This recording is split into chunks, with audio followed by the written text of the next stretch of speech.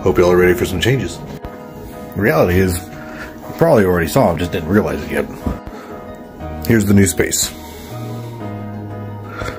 Got plenty of room in the back, for my background, and it's movable. Makes it nice. Oh, hold on. Okay. So this is the new space.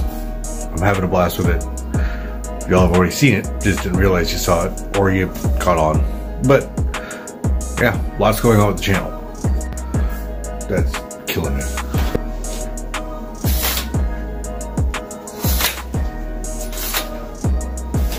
Oh, much better. Anybody who's on any of the other apps, namely that one, um, I've uploaded a couple of pictures. If you're on that one, then you've probably seen a lot of the same content with a little bit of other behind the scenes stuff. Then, if you're on that one, you've actually gotten to see one long form video so far. I've got a plethora of other ones that are on the way. I'm trying to do the most that I can with what I've got, and I'm using pretty much just my phone at this point. Although, you should see what I got coming. We're gonna one shot this. Welcome, everybody. I do want to mention the fact that there is a lot of times that I don't get to be on TikTok. Not just with what I've got going on, but with the regular IRL stuff, my day job kind of things. I stay pretty busy. So I try and get to the comments as much as I possibly can.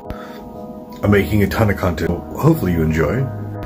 There is about three days a week that I don't get to really get on any kind of social media at all.